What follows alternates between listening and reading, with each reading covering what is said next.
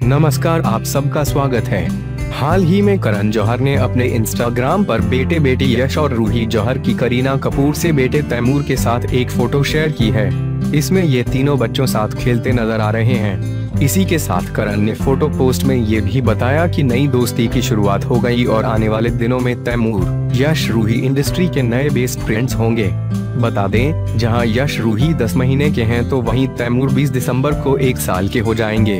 हाल ही में रानी मुखर्जी और आदित्य चोपड़ा की बेटी आदिरा ने अपना दूसरा बर्थडे सेलिब्रेट किया, जहाँ तैमूर और यश रूही पहुँचे थे। आदिरा के बर्थडे पर जहाँ तैमूर माँ करीना और मौसी करिश्मा के साथ पहुँचे थे तो वहीं यश रूही पापा करण जौहर के साथ पार्टी में पहुँचे।